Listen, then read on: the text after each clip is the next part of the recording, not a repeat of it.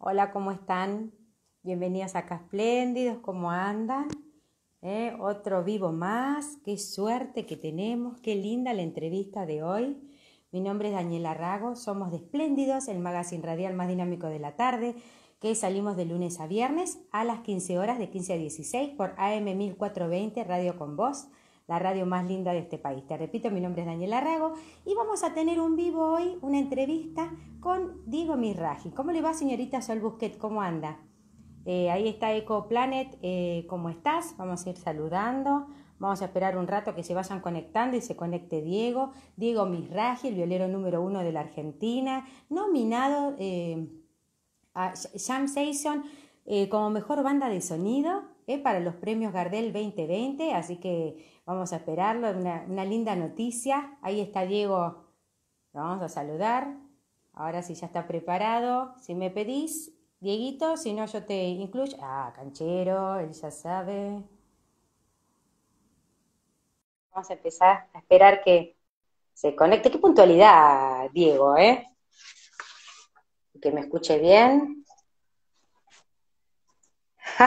te veo bárbaro, qué suerte. ¿Me escuchás bien? Perfecto. Por ahora tengo señal, ¿eh? Esto es una lotería. Pero, viste, igual que eh, como están las cosas, yo ya no. Yo digo, bueno, uno propone y después que salga lo que, lo que salga. Uno tiene buena voluntad, pero a veces. Hoy a la mañana no tenía. Estaba como en el medio del desierto. No tenía internet, no tenía 4G, no tenía nada. Ay, sí, es terrible. Bueno, acá en donde en mi oficina ya cambiamos la instalación de internet, viste, dos veces, ya le puse más internet al celular para hacerlos vivos, ya uno hace lo que puede, después, viste, ¿qué vamos a hacer? Dios dispone, ahí está. Bueno, ¿cómo, cómo estás? Eh, gracias por la entrevista, pues sos un, amor, porque como la otra vez no se pudo, me, dijiste vos, eh, no cualquiera. Me quedé mal, me quedé mal porque eh, no, no había, me, iba moviendo por todo, el, por todo el lugar y no tenía señal de ninguna manera. Entonces iba ah. cambiando de una habitación a la otra, le ponía wifi, le ponía bluetooth, lo sacaban y se clavaba todo el tiempo. No había caso. Ahí está, pero acá estamos, acá estamos y con mejor señal. ¿Viste? Una, aparte que e, en, ese momento no sabíamos que ibas a estar nominado para los premios Gardel, así que mejor. Contanos un poquito. Tenemos sí, sí, sí, sí, está contentísimo, ¿no? Sí, sí, sí, la verdad que sí, muy contento. Aparte vos me das suerte. Perdón. ¿Te acuerdas? Estábamos hablando y justo te enteraste. Tal cual. Y, justo ese día me enteré de la nominación eh, eh, a los premios FUNTV, que es un premio importante en la televisión de los programas educativos de TV, Así que me enteré el mismo día de los premios Gardel, así que fue así medio impactante. Sí, no, aparte estabas contento, digo, qué, lindo, ¿no? Porque que te emociones, porque uno a veces piensa que, que viste, tan fácil y es tanto esfuerzo, aparte 20 años de, del programa, en realidad es por la banda, ¿no? Pero 20 años del programa, ahora vamos a, me vas a contar un poquito. Em, sí. Antes que nada, porque yo, viste, eh, estaba, volví a mirar toda tu vida, tus videos, todo, tan divertido, Diego. La otra vez, ¿te acordás que estuve mirando por Espléndidos una clínica tuya? Clínica se le dice, ¿no? A esas clases que, que das vos. Sí, sí, sí.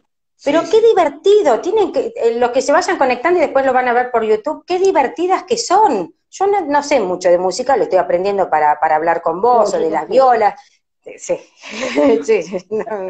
No, incluso estuve investigando a ver cuáles eran las violas de la historia, las mejores. Ya, sé un poco lo que vos, lo que vos opinás, pero te lo voy a preguntar porque algunos no, no saben tu opinión. Pero qué buenas que están, qué didácticas y qué divertidas, porque yo no, de música no, no entiendo mucho, no tengo buen oído. Y la verdad que me encantó, me quedé toda la clase, por decirlo de alguna manera, muy divertido. Por eso, es por eso, porque no entendés nada y no, y, tenés, y no tenés buen oído, por eso te gustó. ¿Por qué? Porque, no, caramba. no, ¿qué pasa cuando alguien no tiene buen oído? ¿Puedes no tener buen oído o, se educa el oído, como la voz? Y el oído, es decir, el oído, hay dos tipos de oído, el oído absoluto y el oído relativo. El 99% de la gente, de los seres mortales, tenemos oído relativo, eh, que no es lo mismo que el oído absoluto. El oído absoluto, mira, voy a prender el piano que lo tengo acá al lado. Espera. ¿eh? Dale, sí, sí, vos haces tranquilo. ¿Lo escuchás ahí el piano? Sí. Bueno, el, oído relativo, que es el del 99% de la gente, el tuyo, el mío, el de todos los músicos, es, si ahora dicen, esta nota que va a sonar, nada, sol, es un sol, sol, Ajá. sol. A ver, si yo toco esta, si yo toco esta nota, sol, ¿qué nota es? La de hoy. A mí no me preguntes tipo examen porque voy a reprobar. ¿eh? Yo, yo sabes que la disfruto, después de ahí no, no entiendo. Es la misma nota de hoy. Te la voy a hacer más fácil, te la voy a hacer más fácil, mira. ¡Qué maldad! No, no, no, vos tú puedes, tú puedes decir a tu Voy a preguntar, a ver, bueno. Concentración. Concéntrate. Nunca imaginé esto. Do. Do. Nota do. ¿Está bien? Sí. Voy de vuelta. Te muestro el piano, ¿eh? Ahora no te lo muestro. Voy a tocar esta nota. ¿Qué nota es? Era la misma, nada más que con otra tecla.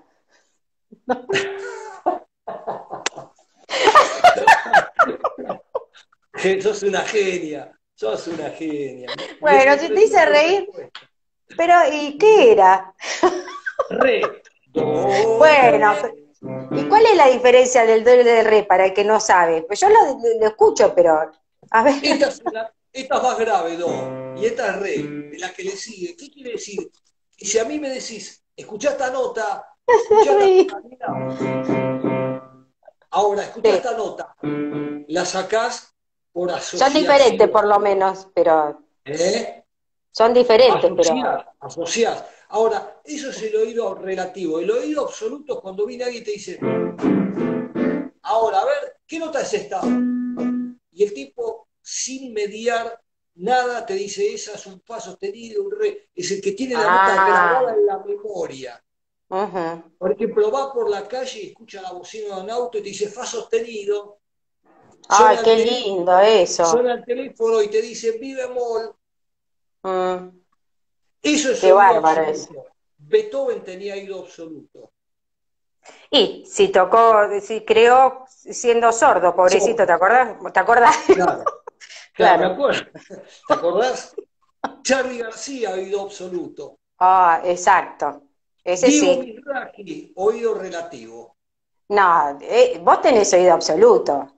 Espera, es, oído absoluto y el otro cómo es? Oído relativo. Oído relativo. Oído relativo. Relativo quiere decir que relacionando dos notas la puedo sacar o relativamente sordo, quiere decir. No, no, vos tenés el absoluto, no puede ser, absolutamente. qué lindo pero como... acabas de decir, qué lindo oído absoluto que tenés. Y pero sí, fuera de broma, es imposible si no, como tocas y como, aparte la facilidad con todas las cosas que haces. Em, estaba pensando, ¿no? En esto del oído. Entonces, si uno tiene el oído relativo, ¿puede llegar a ah. tocar? ¿Se, se, ¿Se aprende eso? Obvio, obvio, se aprende y es, fácil, es cuestión de práctica, ¿no es cierto? Uno, eh, espera que acomodo la, camarita. Sí, sí, hace tranqui. Así como acostumbra los dedos tocando, acostumbra el oído. el oído es un músculo que se acostumbra practicando, entrenándolo, haciendo ejercicios de audio perceptivo. O sea, como la voz. con el paso del tiempo, uno termina reconociendo las notas. Claro, la vas ejercitando. Sabes que eh, yo a los 36 años eh, tocaba la batería. No. Pero como, sí, sí, te juro. Y lo que pasa es que no tengo buen oído y el chico que me enseñaba, mi profesor tenía 18 años. Claro, viste que tienen esa facilidad, pero ¿sabes cómo hice para tocar? Eh, primero porque soy una cara dura, pero con la partitura me aprendía todo, viste, bien virginiana, aprendía todo y después tocaba. Ahora, si vos me dejabas fuera de, línea, ya no sabía para qué lado agarrar, o sea, no, no tengo esa facilidad. Lo, estudio, pero no. El alumno quedó, el, eh, no, el profe que tenía la mitad de, de edad de la alumna, ¿se enamoró de la alumna? No, creo que no. El director, capaz. Ah. Y no, pero fuera de broma. No, pero fuera de broma le, venía bárbaro, porque era toda una escuela, viste, de, chicos jovencitos. Yo era la única mujer que tocaba la batería. creo que para la escuela le servía. Y sabes que cuando hicimos el acto, fue, eh, mi hermano fue a, ¿viste, a tomar algo, que esto, que dice, ¿y vos con quién estás? Pues yo estoy con mi hijo. Y dice, yo tenía que decir que estaba con mi hermana, qué papelón, porque viste una persona grande, claro, dice, qué papelón me haces pasar. Pero bueno, nunca es tarde para hacer lo que uno le gusta. A mí me gustaba la batería. Por supuesto, por supuesto que nunca es tarde, obvio. Nunca es tarde. Si te preguntan, Diego, eh, para, para, un chico joven, empezar con la guitarra acústica o la guitarra criolla, ¿vos qué le recomendás? Criolla, toda la vida. Ah. Sí, sí. La guitarra criolla eh, es como que te da un panorama de lo que vas a hacer si es que realmente te gusta, porque la, guitarra criolla, y bien hay muchos modelos y diferencias de precios, pero es la guitarra y nada más. Si vos querés hacer guitarra eléctrica, tenés la guitarra, el amplificador, los pedales. cada vez que es más. Cada vez que es, más. Claro. o sea, es un, consejo para los padres más que para el chico. Claro. Los padres vienen, me vienen, cada vez que viene alguien a la escuela, me viene así con, con un Magnum 44 en el bolsillo, escondido así, y me dice, mi hijo tiene que empezar con la eléctrica, es necesario. Entonces, ah. esa amenaza, digo, no, no, con la criolla. Porque claro, vamos de a poco. Miedo. Sí. sí, tienen miedo que le digan eléctrica, chao. ¿Sabes el gastadero de guita que es? Sí, aparte es así como vos decís, cada vez querés más cosas. Y hay un montón de, de, ofrecimientos, o sea, un montón de, en el mercado un montón de cosas para ir comprando, para no se termina más. No se termina más. No se termina ¿Y tus guitarras, tus guitarras, las que hiciste vos, se terminaron? Las vi por Ah, te iba a, mostrar. A ver, sí, sí. Ahí está Alejandra. Alejandra Weisblatt. Saludos a Ale. Ale quiere aprender, dice, porque Ale tiene guitarra. Ahí se fue. Ale tiene, bueno, te están saludando todos. Estoy tratando de hablar cosas técnicas porque sé que a los varones les gusta. ¿Cómo hace una mujer de 50 para aprender? ¿Hay edad para aprender? Mira Alejandra. sí, a los 50 se puede aprender. ¿No? Y a los 60 también. Y a los 55 también. Ahí está, hombre 5.0, me encantó. Eh, bueno, Vamos, eso. Bueno, entonces me vas a botar una guitarra. No, sí, las guitarras que yo diseñé, tengo un par que me quedaron ahí guardadas, este, y sí, se fueron, se fueron, se vendieron, no, hay más. Ahora, la creaste como vos querías, por lo que yo eh, escuché ahí en un, en un vivo, que empezaste de a poquito y te, encantó. ¿Querés contar un poquitito de cómo fue? Bueno, eh, un día me, surgió la idea loca de, hacer, diseñar un modelo, sino en producción, en línea de producción, ¿no es cierto? No artesanal, sino industrial. Este, y dije, bueno, me junté con un fabricante y toda su familia, porque eran todos desde la fábrica, los hijos. Este, ah. Y entonces yo iba diciéndole, el tipo iba anotando y yo le decía, quiero esta medida, quiero esta... Claro, vos estás haciendo la ideal. La ideal. La mujer ideal, la guitarra ideal. La mujer ideal. aparte, viste que tenemos forma de guitarra. Ah, sos un vivo. Me encantó. Por eso toco la guitarra. Claro, mira lo que relacionamos. Claro, tienes razón. Mira. Por eso me dediqué a la viola. Muy bien entonces estabas así, creando la, la, la, que vos querías perfecta. Quiero rubia, perdón, quiero... Eh, este, ¿Grande, ¿Grande o más finita o más flaca, más? No tengo problema con eso, ¿eh? Ningún problema. ¿Cómo me hace reír? Sí. Y bueno, así salió, surgió, digamos, el prototipo de la mujer ideal. Pero entonces que no hable. que lo importante, vos lo dijiste, y para eso te recomiendo una película de Woody Allen que se llama Dulce y Melancólico, que se trata de la vida de un guitarrista que se casa con una mujer sorda y muda. Sí, pero ojo que puede ser brava igual. Tenés muchas formas de... ¿Eh? ¿Y le va bien? Obvio. Hay muchas formas de, de jorobar. No, no, no le va muy bien. Es, es, es brava, mirala, Dulce Melancólico de Woody Allen. Dulce, bueno, la voy a mirar, ¿eh? Con Woody, el, el, protagonista es John Penn. Ah, ah, oh, qué actorazo. ¿Qué tipo de películas te gustan? ¿Así? ¿Con las de Woody Allen? Sí, sí, amo Woody Allen. Ah. Amo Woody Allen, amo la, la comedia, la comedia mm. fina, y francesa, no, no me gustan las películas de acción, sangre, guerra, violencia, no me gustan, nada de eso. Ajá. Este, una película para pensar. Sí, sí, sí, película donde hay diálogo, donde está la cosa así humana, de, interrelaciones, eh, la cosa más cabezona, ¿no? No tanto violencia. Cada tanto te miro algo de violencia y de acción, pero no es mi favorito. No, está bien. La que después decís, bueno, vamos a tomar un café con, con, con tu esposa, con quien sea, y te quedás charlando de la película, viste que tiene un contenido. Porque si no, es como que, ¿no? O esos finales que decís, ¿y cómo será el final? Bueno, para mí es de tal manera. Cada uno ve, ¿no? Tal cual.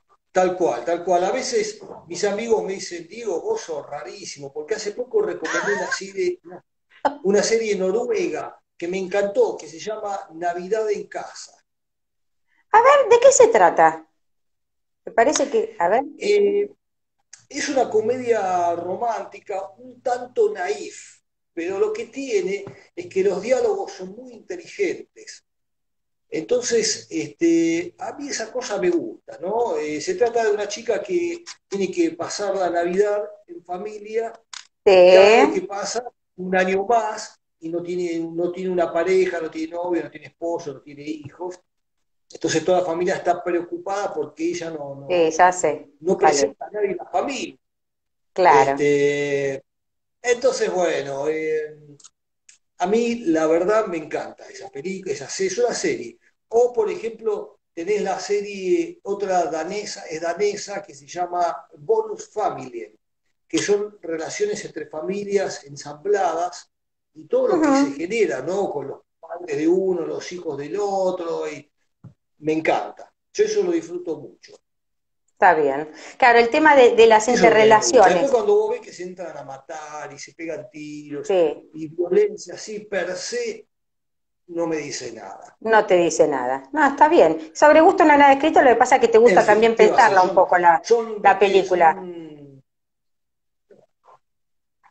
Gustos. No, pero está bueno, ahí, ahí está Juan Acosta mirándonos. Hola Juancito, ¿cómo estás? amigo mío también. Eh, eh, tu guitarrista preferido, que se van a sorprender todos. ¿Quién? Tu guitarrista preferido, que no lo podemos ni imaginar.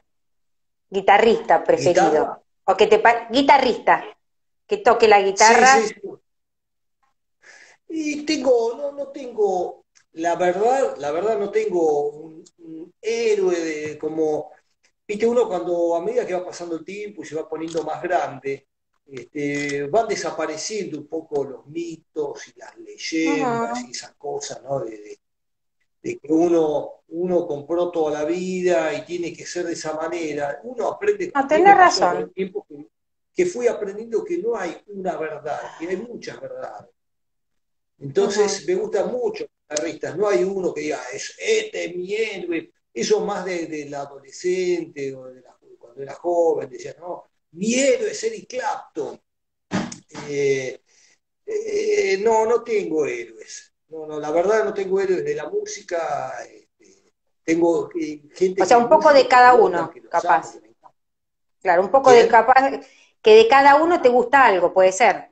No uno solo. Claro, Claro, no, no, pues me gusta Eric Clapton, Mark Knopfler, John Mayer, Larry Carlton, Van Halen, Joe Satriani, hay nombres muchos que me gustan y todos me gustan, y son todos distintos. Me gusta Ricardo Mollo, mucho. Eh, vi los videos, ¿no? Que haces, será, los videos que haces que son tan divertidos que se los recomiendo. Eh, ¿Estás haciendo o era el principio de la cuarentena y ahora estamos un poco haciendo más clínica? Viste que estábamos todos un poco más exaltados al principio y hacíamos un montón de cosas. Y ahora es como que uno está un poco más tranquilo. ¿Puede ser? Pues están muy buenos, ¿eh? Muy buenos. Yo te voy a explicar algo que es lo que me pasó con los videos, con las pelucas y todo eso. Ay, una qué cosa, Una cosa llegó a la otra. Un día, eh, después de hacer varios videos con las pelucas y, y, que, bueno, yo veía que la gente se divertía y yo me divertía mucho haciéndolo. Este, no tengo, yo no tengo ningún prurito, no tengo ningún problema, y pasar el ridículo. No, a mí no me importa. Viste, uno llega un momento que está de vuelta y no le importa nada. Entonces, como anduvo tan bien eso, agarré y generé un programa de televisión, de cable, que se llama De la Peluca, que está saliendo en un par de canales en Uruguay y acá en Argentina. Y ya iremos por el octavo capítulo. O sea que lo de la peluca y todo eso que empezamos a hacer prosperó por fuera de las redes sociales y más en la televisión. Así que eh, eh, lo, sigo haciendo, lo sigo haciendo, pero producción. Eh, yo, lo que veía es que, bueno, era hacías videos con los, los, guitarristas, ¿no? Son todos varones. ¿Hay guitarristas buenas mujeres? Sí, claro, claro. Mira, hace poco grabé un capítulo del programa Jam Session, hablando de esto que justamente vos estás nombrando. Hice un, video, un, capítulo especial de guitarristas mujeres de Guitar Hero Woman. Y está lleno, lleno, lleno de chicas que tienen, digamos, tienen el estereotipo del guitarrista hombre, pelo largo, obviamente son mujeres, toda la postura rockera así, que se mueven y todo, tienen, todo ese estereotipo lo tienen pero son mujeres muy femeninas y muy, pero muy grosas, pero muy, muy, muy grosas. A eso iba. O sea, tocan muy bien. No, no, o sea, no hay, no hay una distinción de género, no importa. Pueden tocar muy bien. eso era en el ah. pasado. En el ah, pasado eh, existía eso, el, hombre, Guitar Hero varón. Había una revista histórica, histórica que se llamaba Guitar Player, nunca una tapa con una mujer, eran todos hombres, todos Guitar Nunca una mujer. Y ahora se está dando vuelta. Hay muchas mujeres guitarristas. Ahora no me acuerdo el nombre, pero al programa vino la que tocaba con, Michael Jackson, una rubia. Uh, hace mucho. Jennifer Ahí está, vino al programa. Eh, es, buen, es buenísima, tiene una polenta. Sí. Ah, ah mira. Sí, sí, por Alejandra y Fabio, por AGW Prensa. Eh, hace unos años en, Los Ángeles hicimos algunas clínicas juntos. Ajá. ¿Tiene una potencia? Sí. Ahora, me da la sensación así toda seria que si se enoja con la guitarra. Es Yo analizo toda la personalidad de cada uno que viene, no me importa si es guitarrista que esto, que el otro, me los imagino. Era seria. ¿Eh? Sí, sí, sí. Es brava, es brava. ¿Ah, es brava? Y es brava. Bueno, hay que estar al lado de Michael Jackson tanto. Sí. Tal cual. Imagínate. Eh, Michael Jackson, o sea, tocar con Michael Jackson, Jackson debe estar cerca ahí sí de la perfección, tener que estar a un, a un nivel eh, imposible, ¿no? ¿Viste? no, ¿cómo se llama? Eh, no me acuerdo cómo se llama la, la, película que hicieron después que él falleció, que estaban preparando la gira, no sé si la pudiste ver.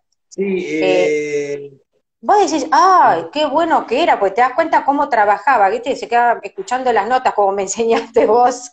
Ese tenía un oído absolutista. no absoluta, absolutista. Total, total. Sí, sí, sí. Se llamaba la película algo de It, eh, Claro, me sale It, que es el, es el, el, el, mago, el payaso malo, no es It, es It, It's, It's, no sé, algo por el estilo, ahora no va, ahí está, This is It, Bien, gracias chicos. This is it, ahí está. Muy buena es, porque lo valorás a él de otra manera. Yo siempre lo escuché, bailé sus canciones, fue de mi infancia, todo lo que quieras, pero verlo cómo trabajaba, el que no sabe música, es un placer, como verte a trabajar a vos. Total, total, sí, sí, sí. Michael Jackson era un perfeccionista a todo nivel, o sea, puede gustarte más, menos la música, porque el tipo era un genio, era un genio desde chiquito. Por eso lo superó y lo sobrepasó a los hermanos, porque el tipo eh, era, ya fue iluminado desde muy niño, niño ah. prodigio.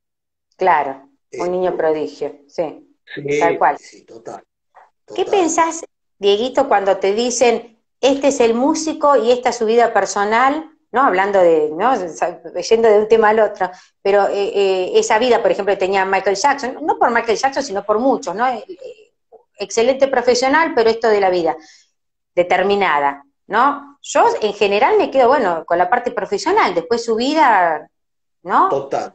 Total. Porque a veces te dicen, no, no hay que escucharlo, no hay que pasarlo por el programa, pero entonces no podemos pasar nada.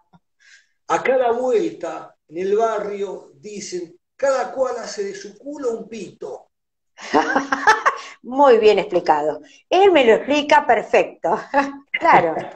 Y, pero en la vida, yo no es porque vamos a defender eso, pero artísticamente, si no, nos quedamos sin, qué sé yo, la vida de cada uno, ¿no? que nadie lo está defendiendo. Sí, sí, la vida privada, o sea, primero y principal, eh, el artista hay artistas que le gusta la pantalla, que le gusta publicar toda su vida personal y hacer de su vida un gran hermano. Detesto eso, lo detesto. Para mí no se puede, no puedes construir arte con tu vida privada. Si lo haces es porque eh, algo falla. Hay un, hay un refrán también, ya que estamos, que dice, dime de qué adoleces y te diré, dime de qué, eh, de qué alardes y diré de qué adoleces. Entonces, si no necesitamos mucho tu vida privada es porque algo está fallando en la parte artística, ¿no es cierto? Entonces, eh, em, a mí no me, yo no, no, no, me gusta enterarme de la vida privada de los artistas, de los músicos, de los deportistas. A mí me gusta admirarlos, admirar al personaje en, su campo de, de, acción, es decir, un músico en un disco, en un escenario, en un video, a un artista del lienzo, a un deportista en la cancha. Ahora, lo, que hacen después en su vida privada, problema de ellos. Ahora, si el tipo es un perverso, como el caso de Michael Jackson, bueno, que lo condene, ¿quién es lo que tiene La justicia, ahí está, ahí está, claro. si no, todos somos opinólogos, ¿me entendés? No, y aparte no puedes, no, puedes escuchar nada, yo no sé la historia de cada uno. Cada uno tiene, viste, debajo de la alfombra, andás a ver lo que tiene. Tenemos que separar, como con Maradona, viste, ahora que está ahí que va a salir la novela, que todos se pelean, y que esto, y él está con el eh, ¿qué sería eso? ¿Qué tono? ¿Qué, ¿Qué cuerda sería? Fue sostenido. No, pobre, viste que en este momento no puede sostener eh, mucho, pobrecito, está, está mal. Pero bueno, uno recuerda, yo no le defiendo su vida porque no, me gusta a veces, pero bueno, como jugador de fútbol, ¿no? Y de boca, lástima que mejor River, ¿no? Pero. Escúchame, cuando le hizo el gol a los ingleses con la mano, lo amamos, lo amamos. Entonces, listo, yo me quedo con eso, con ese gol que la metió con la mano. Ya está. Eso es Maradona, un genio. Sí, lo dice alguien de boca. ¿Eh? Lo dice alguien de boca. Eh, boquita. Sí, sí. ¿Alguna vez van a perdonar a, River que fue a la B o, siempre va a seguir el mismo chiste? eso ya para toda la vida. que no, uno no puede bajar y subir para siempre, no se puede. Boca nunca, nunca descendió. Por ahora. Podés no descender y estar mal igual. No, no. Difícil, difícil. Ah, ¿Cómo son los de, los de Boca y los de River? Eh, viste, siempre la grieta está en todos lados, Boca, River, en el gobierno, unitarios y federales. El argentino es así. Sí, eh, yo creo que eso, sí, a mí me parece que eso es algo inherente a la naturaleza del, ser humano, ¿no? Tener la, grieta. No, no, no, es un invento de, ahora, es algo que existió siempre. Incluso ahora dentro del peronismo hay otra grieta más importante. Entonces, eh, me parece que eso tiene que ver con, la naturaleza humana de, dividir y reinarás, ¿cierto? Entonces, eh, partiendo de esa base, eh, siempre va a haber grieta. El comunismo versus el liberalismo, eh, la, Guerra Fría, Estados Unidos versus Rusia, en la, guerra, en la Segunda Guerra, el eje contra los aliados, en la Primera Guerra también, Boca River, Argentina-Brasil, Argentina-Chile, bueno, ¿qué va a ser? Ya somos así en la, naturaleza humana. No, por suerte estaba pensando con todo lo que nombrabas, eh, que está el arte, que está la música, ¿no? Porque la música sí te une. Por la música nos unimos todos. Sí, igual hay grietas dentro de la música. ¿Sí? ¿En, los violeros hay, ¿En los violeros hay grietas? Bueno, existió, en el rock nacional existió una cosa que me parece una pelotudez total, la, antinomia Soda Estéreo, Los Redondos, este, ah. después el pop versus el punk, después eh, toda Claro, sale en todos lados. Sí, sí, y entre los violeros eh, están los yaceros contra los rockeros, y, por suerte a mí no me pueden encasillar en ningún lado porque para los yaceros, claro, para los yaceros yo soy muy rockero, para los rockeros soy muy yacero, para los bluseros soy muy metalero y para los metaleros soy muy blusero. Entonces, que se maten entre, entre ellos. A mí, claro. yo no tengo ningún compromiso con nadie y, y, hago a mi manera mi música y como, de acuerdo a como yo la entiendo. Sí, sí, porque aparte, eh, está bien lo que decís, porque incluso sos un, poco en la música y en la vida, guitarrista, bueno, músico de, por todos lados, ¿no? Pero eh, conductor, empresario, sos un poco de, todas las áreas. Y aparte muy, importante en cada sector, no es que pasa desapercibido, porque como conductor también una maravilla. ¿Me ves ahí? Sí, te veo quietito, pero estás todavía. A ver, espera. Hola, espera, ¿eh? No sé Ahora vas a volver. Toqué la pantalla y se quedó quieto. A ver, a ver. ¿Por qué será? Hola, dice Diego, que escribe. Sí, para ver qué pasó. Espera, a ver ahí. Sí, sí, te espero. Ahora vas a volver. Vamos bien. Pero yo metí. Si querés salir, volvés a entrar. Diego, si querés salir, yo te hago, y volvés a entrar también. Ah, sí, a ver, salgo. Salgo vuelvo a Salís y entras. Ahí está. ¿eh? Gibson versus Texas, dicen. Ahora le voy a preguntar. Ahora le vamos a preguntar. Y ahora voy a volver a entrar, porque te pregunta. a ver, voy leyendo. Gibson versus Texas. Ahora le preguntamos. Yo sé lo que va a decir, pero. Ahí está. Ay, ¿para qué? Ahí está. Esperando a Diego. A ver, a ver. Ahí está, ¿viste? Bien. Ay, qué placer seguir con la entrevista, qué alegría. Ahí estaban preguntando Gibson, ¿está bien dicho? Versus eh, Texas. Estaban preguntando eso. Siempre, te preguntan siempre eso, ¿no? Más o menos. No, bueno. Hola, Ricardo. Hace poquito eh, inicié un versus. Agarré un, quiero saludar a mi amigo Nachito, que está ahí, que lo estoy viendo. Hola, Nacho. Este, empecé a hacer un, como un duelo entre dos modelos de guitarra, comparando una guitarra de 2.000 dólares con una guitarra de 200 dólares, y, un poco para desmitificar, ¿no? Esa cosa de las marcas, el, marketing, el branding, toda esa cosa. La que es muy cara. Sí, muy cara. Yo, a mí cuando me preguntan qué modelo de guitarra preferís, yo siempre respondo lo mismo, la más barata Capaz le haces tocar vos, o sea, sonar vos, sonar. es, un poco así, uno lo importante es tener una guitarra que afine.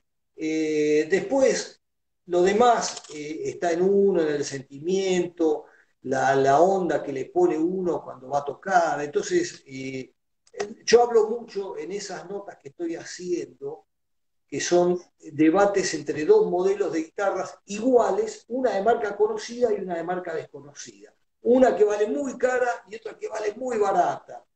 Eh, aparte, algo que, que, digamos que se estandarizó en los últimos tiempos es que la gente escucha música en el celular, en un aparato como este. Y si no tenés auriculares, como vos tenés ahora, lo escuchás por el parlantito del celular, que el parlante del celular es más chico que una púa de guitarra, ahí se ve la púa.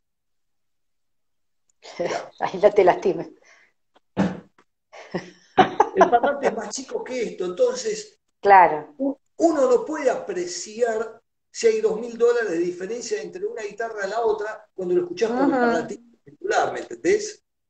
Claro. Entonces, eh, ahora, si vos vas a un show y estás al lado de la banda, y, ahí lo vas a apreciar mejor. Pero como está tan estandarizado, y ahora es Spotify, YouTube o Instagram, donde uno escucha la música, y la escuchás prácticamente sin nada, sin equipo de audio, sin sonido, sin parlante, lo escuchás como venga. Entonces no notás la diferencia. Entonces, que es una cuestión de, marketing, o sea, es, eh, o sea, e, es, el nombre, punto. O sea, no se tienen que desesperar tanto. No, no se tienen que desesperar. Obviamente hay otros condimentos en una guitarra de marca, una guitarra cara, te va a durar mucho más, va a afinar mejor, eh, a la larga las prestancias van a ser mejor, pero en el, en el corto y mediano plazo es todo lo mismo. Es todo lo claro, porque él sabe tocar, un maestro. ¿Qué tal cuando fuiste? Ah, sí, no, no, lo que pasa es que fuera de broma, ya sé que estoy hablando con vos, pero eh, tocar así con esa, no sé si es facilidad, o, vos tuviste que estudiar, o, pero tenés facilidad, pero tocar así, te piden una canción, la tocas y con, con los dedos, yo digo, ay, ¿cómo harán? Por Dios, qué, qué envidia, qué admiración. Es, viste, para el que no, sabe, el que no hace, es magistral. Aparte de la potencia. Mira. Vos no te das cuenta, ¿no? De, las cosas que haces. Bueno, claro. viste cuando haces bicicleta, que por ahí pasaron 10 años que no te subís una bicicleta, pero la agarrás y empezás a andar, ¿no es cierto? Sí, sí, es lo mismo. Oh, que aprende te sale naturalmente. Qué lindo. Qué, suerte que tenés. Em, cuando fuiste en el rock, en ese show de rock, eh, que fuiste ahí, tocaste, que estaba todo el, escenario, toda la gente mirando, que le pusiste una potencia, lo miré varias veces porque me encantó. ¿Vos qué sentías? Porque se te veía tan tranquilo, o sea, con una naturalidad, siempre estás así, tranqui, natural, y hiciste una, pusiste una energía ahí que volaron los techos, por suerte no había, pero impresionante. ¿Vos qué sentías ahí? ¿O, no te, o, lo disfrutaste y no te diste cuenta? No, bueno, es una mezcla, una mezcla de, ah. sensaciones. Los segundos previos, los, minutos ah. previos, son bravos, pero es una adrenalina, como, como la mayoría de los músicos y los artistas le pasa antes de salir a escena. Es una linda adrenalina. No es que a mí me bloquea. Este, Ahí está, claro, sí se nota. Es una situación muy especial, es una situación eh, atípica, porque uno cuando sale al escenario sale acompañado de una banda, de un equipo. Entonces, es como que si son cuatro, la presión se reparte en cuatro partes iguales, en cuatro cuartos. Claro. Este, cuando vos tenés que salir solo y enfrentar a la masa, vos solito con tu eh, humanidad y la guitarra, es bravo, es bravo. De la regalo. Es bravo, pero, pero claro, sensación. Y aparte, eh, cuando vos tocaste el primer acorde y ves que sonó bien y que el público respondió, ya está. Sí, sí, ahí ya, ya, me imagino, ahí ya no tiene vuelta, te querés quedar 20 años, ¿o no? Cuando ves esa respuesta, ya te querés quedar ahí, es un, debe ser un morboso placer. Es tremendo, es, tremendo. Y después, cuando volves, bajón. No, bueno, te queda el, A ver.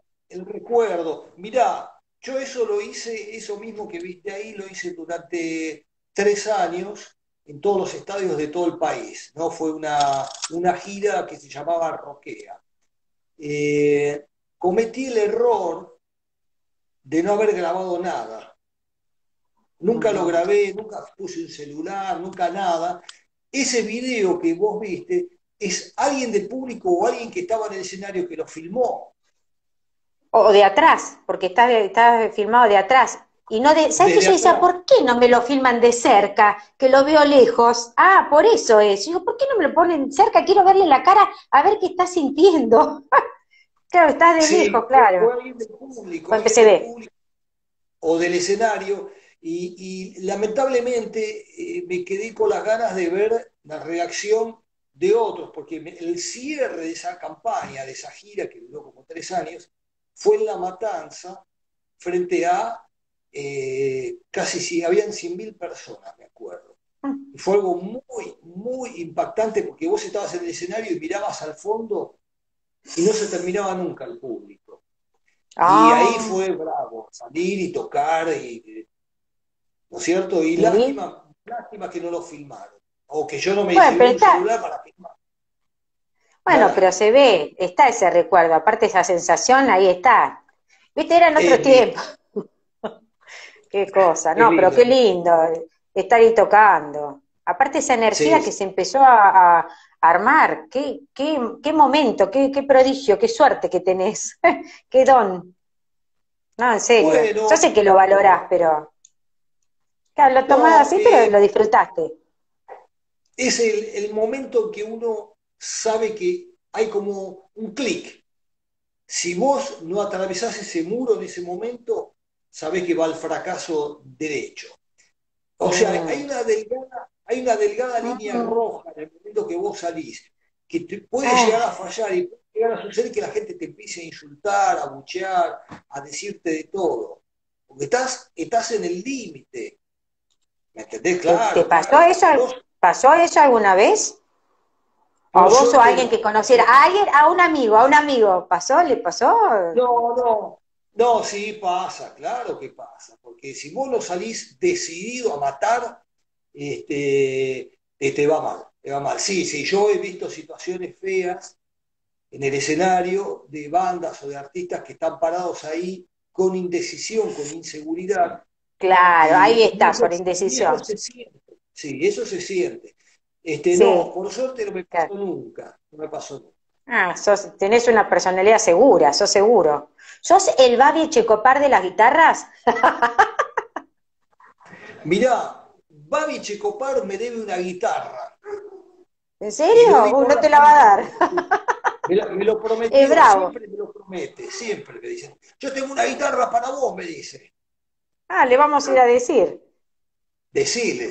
Decirle, che, mi no, tiene un carácter, Tiene un carácter, Babi, que mamá mía, no le digamos nada, mejor. Es, es, es un personaje, ¿eh? Así que te, te, dice que te va a dar una guitarra fuera de broma. ¿Sí? Así es. Estuvimos hablando, bueno, de, de, de, tocar, de las bandas, de películas. ¿Qué onda los parchís? no, ni idea. No, porque me causó mucha gracia en los videos que decían, no, a mí el espectáculo, lo que más me gustó fueron los parchís en, el Ital Park, no sé qué decía, yo digo, sale con cada una que uno ya no sabe qué dice la verdad y qué dice, qué miente, porque no, me mienten al chiste. muy simpático para las clínicas, sí. no, pero muy, muy buenas las clínicas, muy divertidas. Yo la voy a ver a partir de ahora, viste que empecé, el otro día la agarré tarde una. No, me divierto un montón, porque aparte de, escuchar buena música, es muy divertida las cosas que vas haciendo, incluso ahora cuando con Julián hiciste una clínica que se tapaban, te tapaban los ojos. Claro. Ah, ¿ese es tu hijo? Es mi hijo. Ay, qué, ah, qué lindo tocar con el hijo. Sí, sí, la verdad que sí. Mi pibe es, un encanto. Bueno, ¿qué voy a decir de mi pibe? Es un genio. Y la verdad, es un encanto. Simpático aparte. Ahí Nachito me dice, ah, mira, yo tengo mi agente de prensa, Nachito, menos mal que me hiciste acordar, Nachito.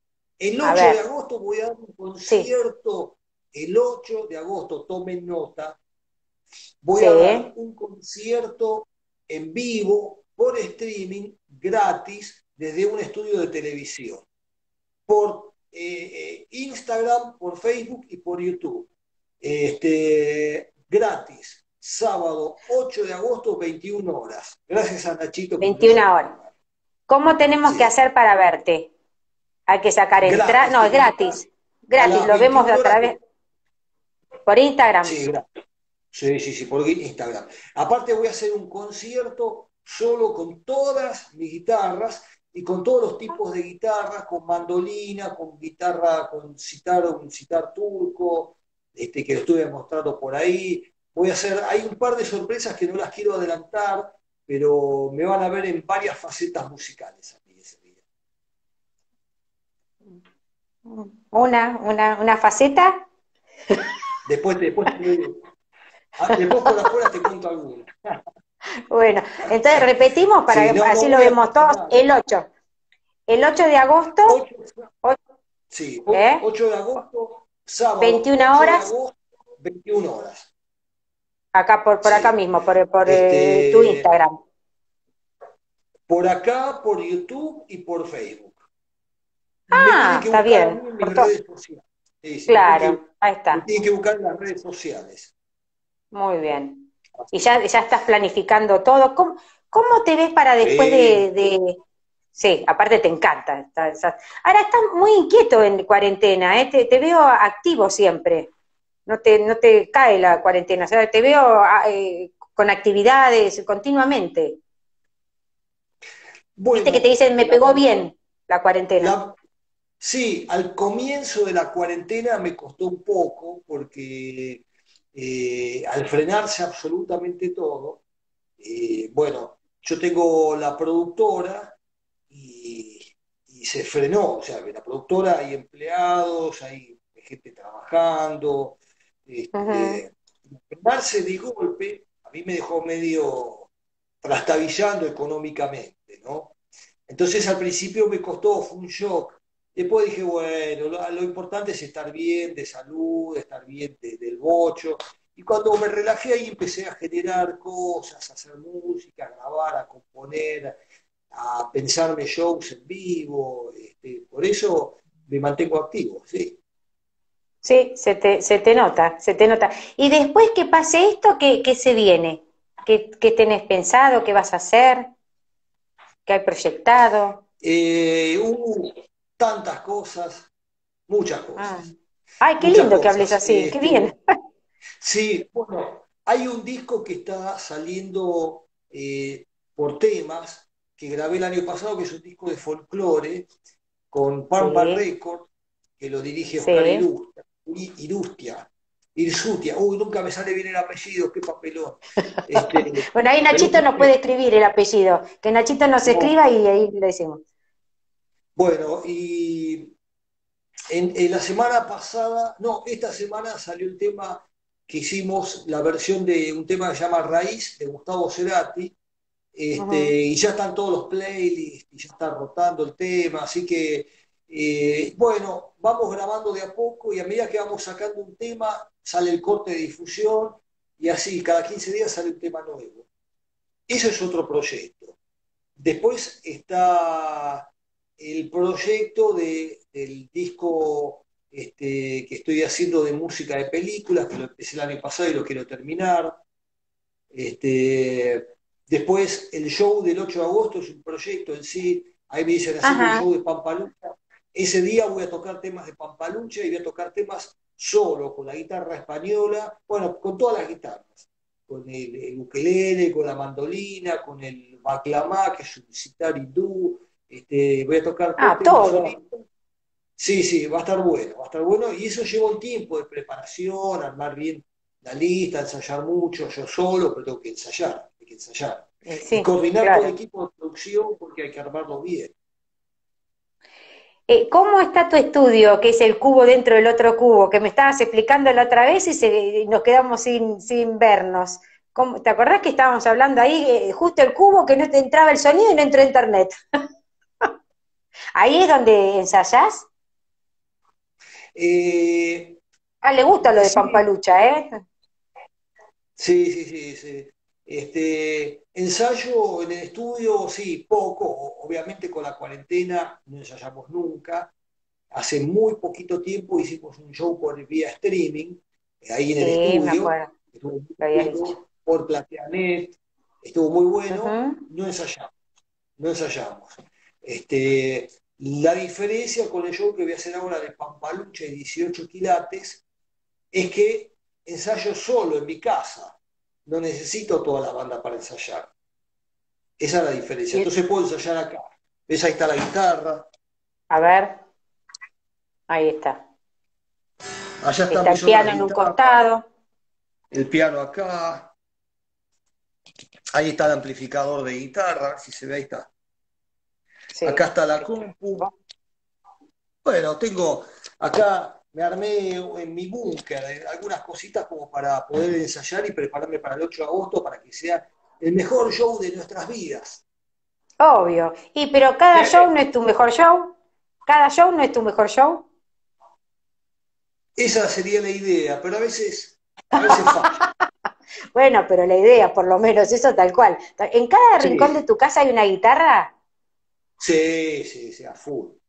A full. Ah, qué barro. Sí, sí. Vos caminás acá y hay guitarras por todas partes. ¿Cuántas tenés más o menos? En tu casa. Después de la oficina, no sé, en pero... No, Porque ahí vi como cinco, seis. Sí, cinco o seis guitarras hay acá en casa, sí. ¿En la cocina hay guitarras también? qué sé yo, vos te pones, eh, no te, imagino tomando mate, pero te pones a tocar así una tarde, decís, bueno, voy a tocar.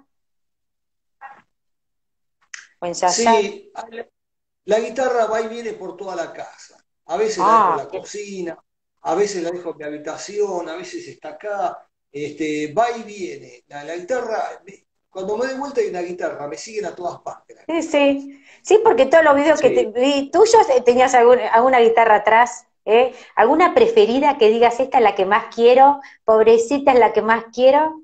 ¿Hay alguna?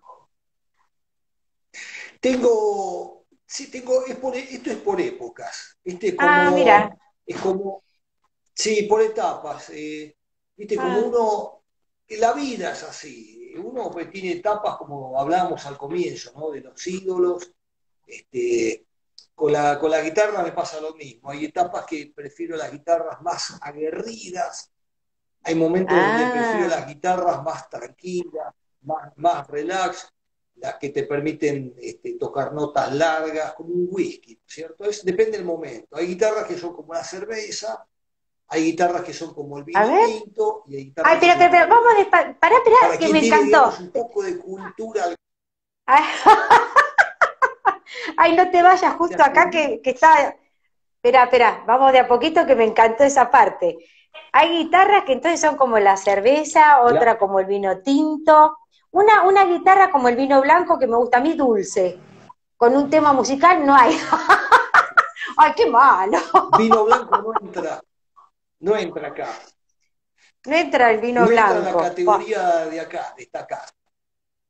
o sea, tiene que ser algo fuerte. Está... Eh, no. No, es, que soy medio machirulo. Sí. O sea, tiene que ser un tinto fuerte, eh, eh, un whisky, hay guitarra para whisky, para, eh, ¿qué dijiste? La cerveza, champán. No, no te veo con el champán. Ah, vino blanco no, pero sí, champán. Muy, muy bien. Voy a hacer dentro de poco, voy a hacer la clínica. Atenti que voy a hacer la clínica, eh, comparando mi guitarra con las bebidas alcohólicas. No, pero está bueno, ¿no? Porque cada una, y no sé, con un café, ¿qué puede ser? un, lento, un té es una amargura.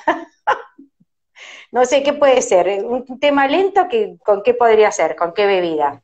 La guitarra. Y con, una guitarra, un tema lento, tiene que ser una guitarra tranquila, este, un whiskycito, ahí está. Whisky que vos no te lo no haces fondo blanco con el whisky. Un coñac. No, un coñac. Diego. un coñac, sí, ahí, vamos. Un ¿eh? coñac, ahí está, con un, un, blues, un, un, poquito de jazz. Exactamente, ahora la birra para el rock and roll, birra y rock and roll van de la mano. Bueno, pero vos dijiste, pero es que me hace reír. Vos dijiste cada, cada, cada guitarra es para un momento determinado, entonces estábamos recorriendo los distintos momentos, ¿no? Exacto. O sea, vos tenés distintos momentos. Exacto. Eh, ¿Signo del zodíaco? No, ni, idea. ¿Pero cuándo naciste, hijo mío? ¿Cuándo, cuándo Hace poco fue tu cumpleaños. Eh, soy de Aries, 18 de abril. ¿De Aries? Sí, ¿es bueno qué, o es qué carácter. No, un carácter fuerte para tu esposa. es un carácter importante. Bueno, de, de, los virginianos dicen que somos todos ordenados, impecables. Entonces yo soy normal, no, no soy así toda estricta, ya me conocés más o menos por, por fotos de todo, qué sé yo, un poco de todo, no, es tan estricto, pero bueno. Así que la guitarra depende también el, lo que tomes, está buena esa relación. Sí, hay, una relación, una guitarra blanca con vino blanco. Y bueno, pero sí, porque me quieren incluir, vos no querés... y sí, no, o sea, no, el vino blanco no va con, con las violas, no, con las mías no. Con las, bueno, no, no importa. Acá el jefe sos vos ahí el que nos está enseñando. Y el mate, nada. Mate no. no ¿Alguna canción de Pampa? La criolla. Ahí está, pero claro. ahí está, tenés razón. Tenés razón. Bueno, entonces el champán iba. Sí, sí, sí, el champán. Después voy a asociar bien cada una de mis guitarras con las bebidas y lo voy a publicar acá. Y te voy a, a, bueno, ¿sabes por qué también? Para hablar de lo mismo, pero un poco más original, ¿o no? Porque si no, siempre te preguntan lo mismo. Ah, sí, totalmente, totalmente. Vos, eh, es, más divertido hacer la nota con vos. Ay, viste, vos eras el mejor violero de la Argentina. Gracias, Diego. obviamente el mejor periodista. Claro, claro, tal cual. No, bueno, no, la idea también es, es que la pases bien, fuera de broma. Ya que haces tantas entrevistas, aparte Em, tengo entendido, primero que, ¿te acuerdas que yo lo hablé en la otra, en la, otra entrevista con vos? Que eh, lees todos los mails de las bandas que te mandan eh, para que los escuches, los escuchás a uno por uno, le das la respuesta que te dicen, ¿es, verdad que sos vos el que me estás contestando? o sea, eh, conmigo también me dijiste, quiero hacer la otra entrevista, pues la otra se perdió, o sea, son muy, ¿cómo se puede decir? A ver, que no sea eh, amable, aparte de ser eh, eh, gran artista, soy muy cariñoso también. Eso hay que decirlo para que sepan los demás. Ah, en serio, son macanudo. Sí. Yo, la verdad es, que, común. Bueno, yo viví muchas mm. situaciones en carne propia cuando estaba empezando, ah. que no quisiera que se repitan en los pibes que están, digamos, en esa situación que yo estuve hace muchos años atrás. Entonces me claro. el trabajo de responder uno por uno, de escuchar todo lo que me mandan, lo escucho, no importa de quién sea, lo escucho, y siempre tengo palabras de, buena onda, ¿no? Para empujarlos, para que sigan hacia adelante, ¿no? Es un momento muy difícil para todos los artistas, para todos los músicos. Entonces hay que darle un empujoncito a los músicos, a los artistas, porque entre que no se puede tocar, no se puede dar clase, no se puede hacer show, ya venden discos. ¿De qué va a vivir el músico? Claro, tal cual. no, pero para vos, vos lo tomás como algo natural, pero uno que te ve de afuera decís, qué grosso, mira, ahí te ponen, qué grosso, qué grande que, es Diego, que se toma el trabajo y aparte que lo haces naturalmente, con placer, incluso me estabas diciendo una vez, yo te dije, eh, ¿qué? ¿Vos les decís si está bien o está mal? No, no, nunca se les dice si está bien o está mal. Eh, es como tocan, después les voy diciendo cómo es, pero hasta en eso tenés la, grandeza. Eso yo quiero que, lo sepan también. sí, no, no soy quien para decir está mal. Claro. lo dije yo, viste, maestra Ciruele, vos me dijiste, no, no, no es así, yo no les digo eso. Claro. es que linda, qué divino. Porque vos pensás lo siguiente, por ahí el, pibe que me mandó el demo o el disco. Dieguito se va a cortar, ¿eh? Yo ya eh, te pido, espera, ¿eh? Este, vamos saludándonos, pero eh, perdona que te lo digo así porque quiero terminar bien el video con vos. Eh, Gracias. en serio, gracias por la entrevista.